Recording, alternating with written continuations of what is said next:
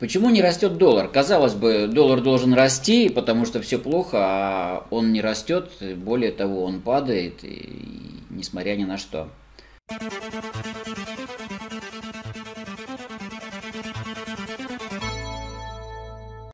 Итак, здравствуйте, друзья. Здесь Демитков Юрий. С началом э, специальной военной операции э, резко люди побежали покупать доллары, э, но э, были приняты экстраординарные меры для того, чтобы э, люди э, не ну, ажиотаж э, не возник.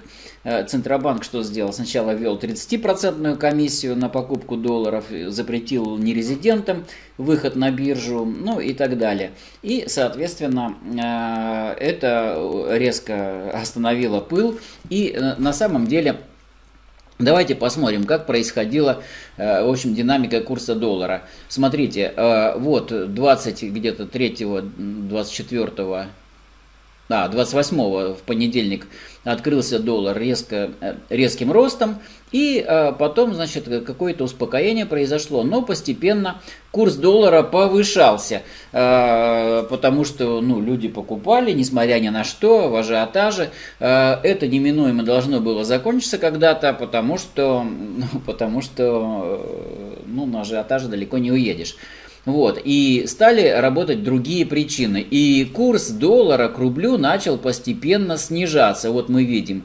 И э, более того, значит, он настолько снизился, э, а рубль, соответственно, укрепился, что э, пришлось э, Центробанку уже принимать обратные меры, то есть э, значительно облегчать э, валютный курс, потому что уже рубль слишком укрепляется, что тоже невыгодно для экономики. Вот, э, была комиссия сначала с 30% снижена до 12%, это сразу было сделано еще вот где-то не помню как когда. Потом э, комиссия, вот здесь вот уже ее буквально отменили, потому что рубль пошел дальше укрепляться, посмотрите. Вот, и э, комиссию отменили, что привело ну, к небольшому, так сказать, росту доллара, но совсем небольшому. И сейчас уже я подозреваю, что будут стимулировать э, просто покупку долларов населением буквально, потому что берите кто, кто может, Э, потому что, э, потому что рубль слишком сильно укрепился, и это очень плохо для экономики. Почему так произошло? Ну, смотрите, во-первых, самый главный фактор это то, что не выпускают нерезидентов.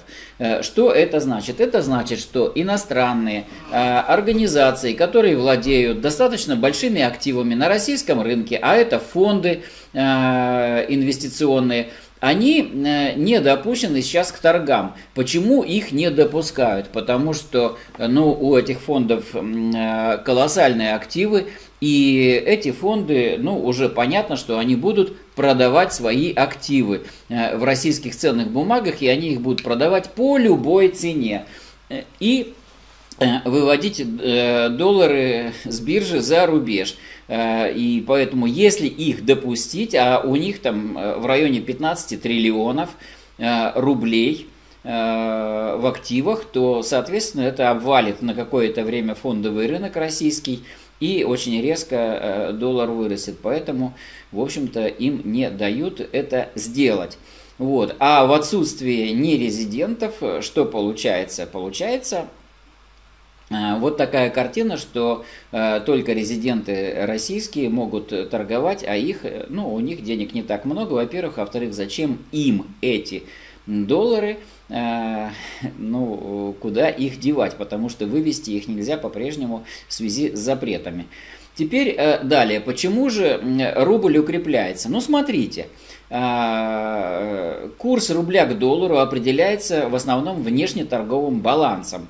А, а внешний торговый баланс, э, что изменилось? Смотрите, мы традиционно э, на экспорт отправляли нефть, отправляли газ и получали за это валюту. А что мы делали с этой валютой? Мы ее либо оставляли там, то есть э, пополняли резервный фонд, часть, либо, значит, мы ее получали и на эту валюту закупали э, что? импорт, то есть э, импортные товары какие-то, ну, все, что могли, закупали. Э, а закупали мы практически все, потому что, ну, э, мы видим, мы все одеваемся в импорте, ездим на импортных машинах, и очень-очень много всего импорта. Так вот, э, в связи с этими действиями нашими э, военными э, получается так, что импорт в Россию перекрыт во многом. И, смотрите,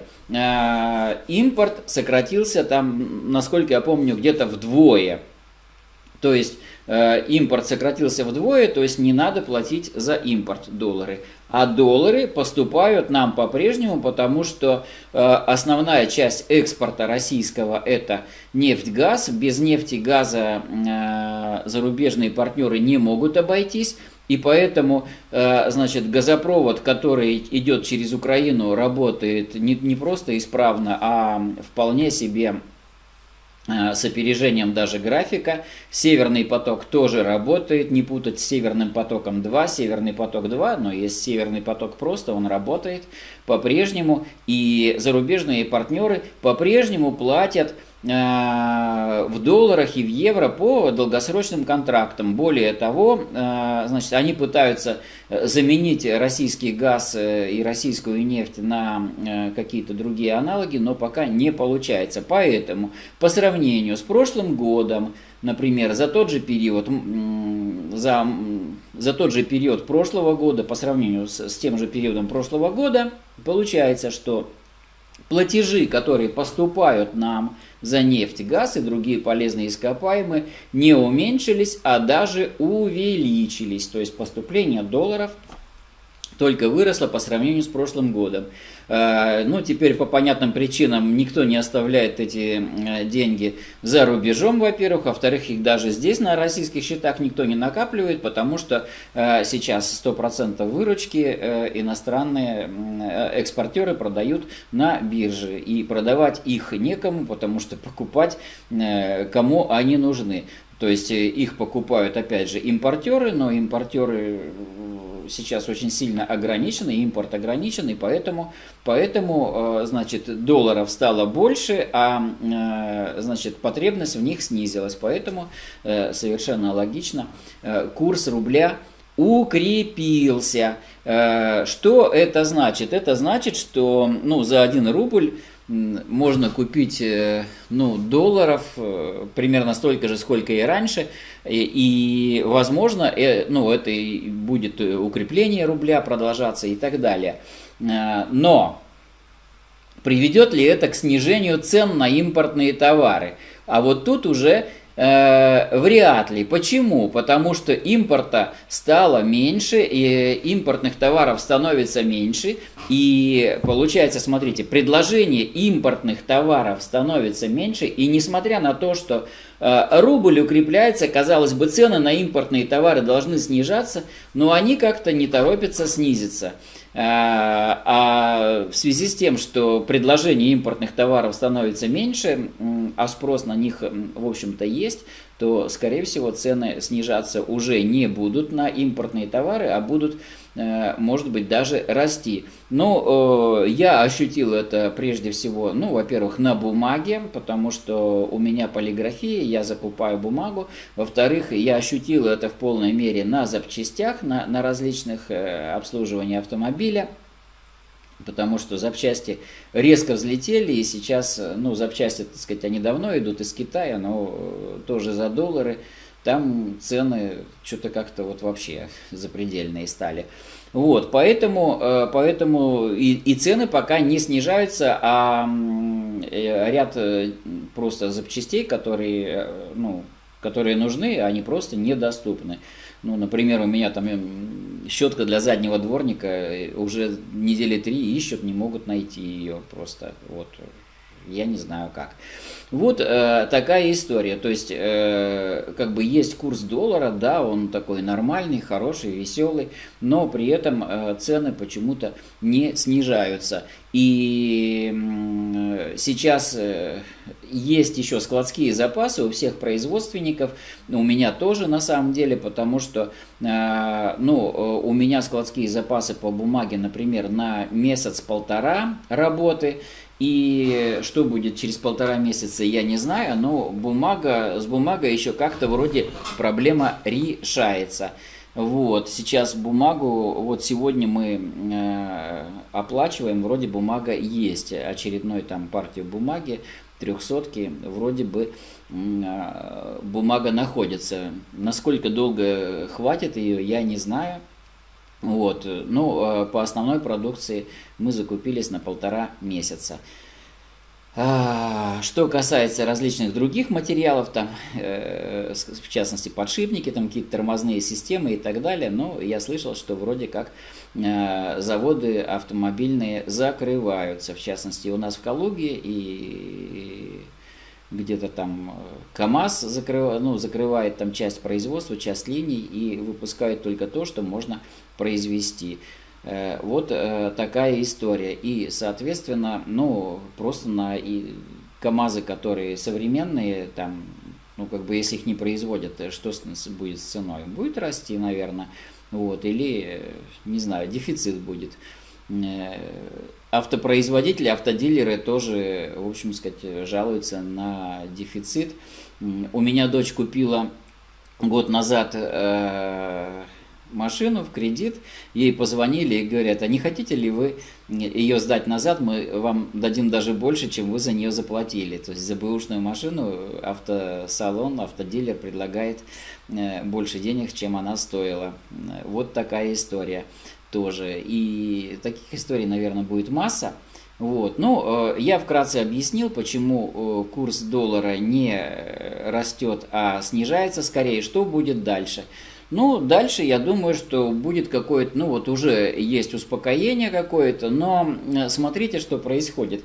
Эм, сегодня четверг, вот завтра пятница, и завтра после окончания торгов, э, возможно, э, Центробанк что-то еще выдаст такое для того, чтобы ну, поднять курс доллара. Почему курс доллара для Центробанка не выгоден сейчас и не выгоден экспортерам? Потому что Смотрите, идет нефть за рубеж, э, продаются доллары, продается выручка валютная, и это, ну, за нее выручаются рубли, рубли поступают в бюджет, и если рубль э, дешевый, если доллар дешевый, то получается, что рублей в бюджет поступает меньше, а э, рубли в бюджете, наверное, сейчас нужны. Э, я подозреваю. Поэтому, поэтому э, низкий курс доллара э, совсем не нужен, то есть крепкий рубль России не нужен, и крепкий рубль, он ведет к тому, что российские товары теряют конкурентоспособность, а это сейчас тоже никому не нужно, поэтому я ожидаю все-таки в долгосрочном перспективе все-таки роста доллара. И не собираюсь продавать свои долларовые активы, ну вот вообще никак, и, и держу их. В частности, ну вот эта вот облигация РУС-28, она мне дает по-прежнему, ну да, она опустилась в цене, и ничего страшного э, я в этом не вижу. Давайте посмотрим.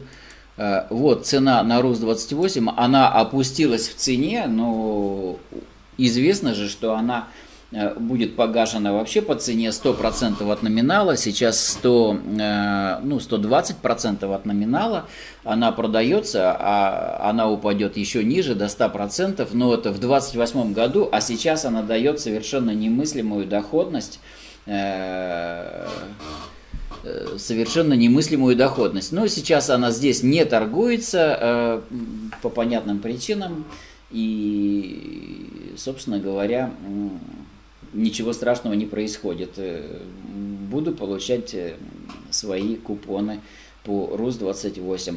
Будут они в долларах или конвертированы в рубли, но здесь я не знаю.